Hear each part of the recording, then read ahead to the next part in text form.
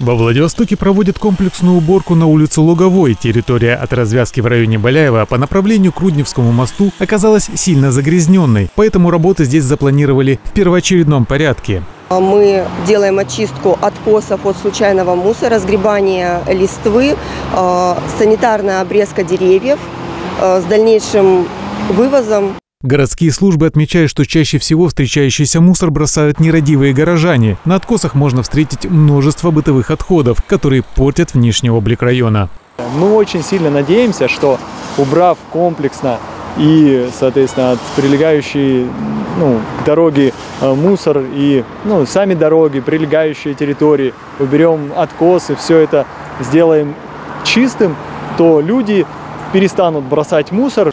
Комплексная уборка прошла и на других улицах города. Кроме того, во Владивостоке скоро состоится санитарный двухмесячник. В этот период работа по наведению порядка будет усилена.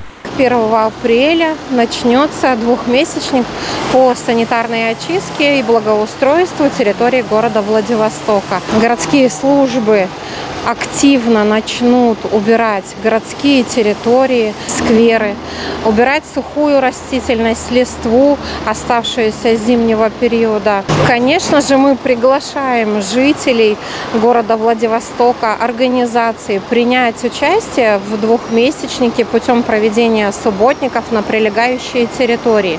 Такие комплексные работы позволяют сразу увидеть результат, когда чистыми становятся как дороги, так и прилегающие к ним территории и пешеходные зоны.